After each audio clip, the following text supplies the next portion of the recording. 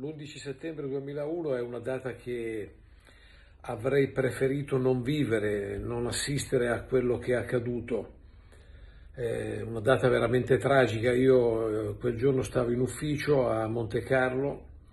e entrò un mio collaboratore e mi disse accendi subito la televisione e,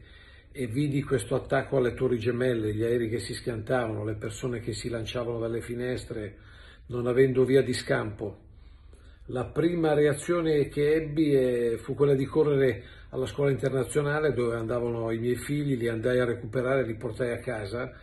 perché poteva accadere di tutto, non solo in America, era eh, un'avvisaglia veramente terribile quella. Eh, tra l'altro il 2001 era il primo anno in cui organizzavo il mio festival del cinema e lo avremmo dovuto fare di lì a poche settimane eh, chiamai Mario Monicelli e gli dissi che facciamo e insieme concordammo di non annullarlo e ci fu la prima edizione, fu la nostra risposta che la vita deve andare avanti anche quando ci sono momenti tragici come quelli.